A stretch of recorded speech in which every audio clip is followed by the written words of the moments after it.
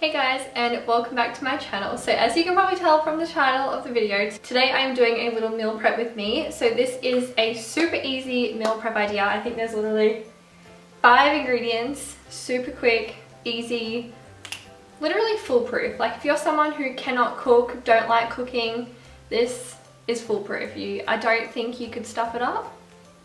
We'll see. Um, but it's something I like to make a lot, especially for meal prep because it's just really easy, really quick. High protein. Um, I'm also going to make a snack. I haven't quite figured out yet what I want to make as a snack, but I know I want to make something, so stay tuned for that as well.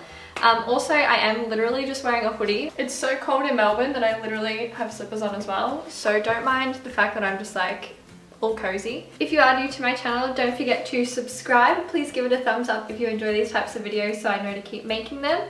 And if you guys want to see what I'm making, then please keep watching. Alright, so I'm going to make my lunches first. I thoroughly enjoy this meal prep in particular because I'm someone who's very fussy with like reheating food. So I don't usually ever cook like chicken in my lunches, for instance, because I hate the texture of chicken warmed up ew, just the thought of it like makes me want to hurl. um, so I like to do mince mostly if I'm putting meat in my lunches. I just feel like you can reheat that and it's much nicer. You don't like get a weird texture. Anyway, I'm talking a lot right now, but I need to, I need to focus. So the first thing you're gonna need is some sort of mince meat. If you don't eat meat, then you could do like lentils or something, but I am gonna use beef mince. You could also use chicken or turkey, honestly anything. I just realized I haven't even said what I'm making. I'm making sweet potato cottage pie. You could also use Spud Lite potato instead of the sweet potato, but I like to have that for dinner most nights, so I'm just gonna zhuzh it up with sweet potato. Um, so yes, you obviously need one of these big guys. They didn't have any smaller ones, so this is, this is what I'm working with. You're going to need some light cheese to pop on top and also some soy sauce. I love soy sauce in cottage pie, but I know other people do like tomato sauce, beef stock. Honestly, do what works best for you, but I'm trying to keep this like minimal ingredients. And the last thing is just some frozen vegetables because these just make life so much easier. So the first thing we're gonna do is peel the sweet potato, chop it into cubes and boil it. And we're also gonna cook off the beef at the same time.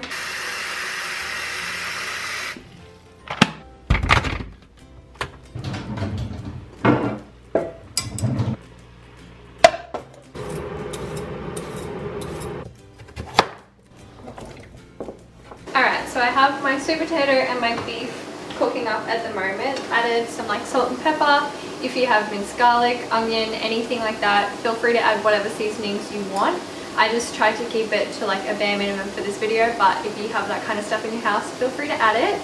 Now I'm just going to add probably about two tablespoons of soy sauce. I always get the salt reduced version and I also never measure anything properly. I just kind of, I just kind of wing it. I'm just going to use the rest.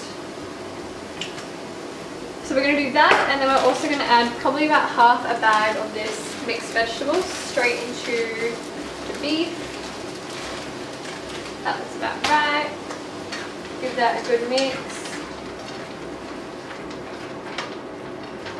And we're just going to let that simmer for about five minutes while I make my snack. So I decided because I have an old banana. I'm just going to make banana muffins. I feel like I show this all the time on my YouTube channel, but if you're new here, maybe you haven't seen my muffins yet. So that is what I'm going to make today. I'm also going to add some choc chips in them as well.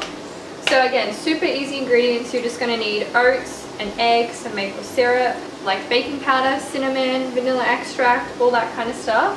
I will leave the full recipe written below, but it is pretty basic stuff that you would probably already have in your house. Um, and I also use coconut oil but you can use um, any sort of like vegetable oil or butter. I just prefer to use coconut. So I'm going to make that up now and then I can put it all in the oven together. Also side note, the muffins are not high in protein but you could for sure add some vanilla yogurt or protein powder in them to make them higher in protein. I personally don't like adding protein powder because it makes them dry and I don't currently have any yogurt on hand so just thought I would throw that in there.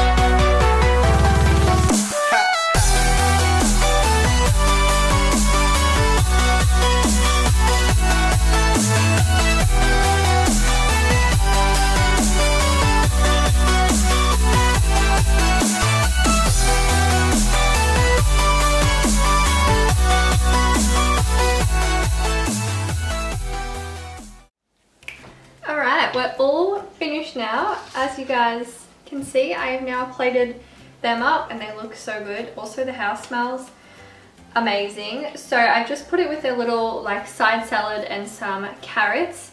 I've just done this kind of like for props, but I wouldn't usually put salad with something that you have to warm up because obviously you don't want warm salad. um, so I probably would put the like salad type stuff in a separate container and also the dressing separately as well. And then the thing that you have to put in the microwave can just be left on its own. I just put carrot sticks with it, but you could also do fruit if you're someone who like wants something sweet after they eat like a meal. You could do like strawberries or something, but I just didn't have any of that in the house. So yeah, I'm so excited to eat them. The muffins also turned out so good. I'll show you guys like a close up. Oh my God, the heat. Like, wow, that looks incredible.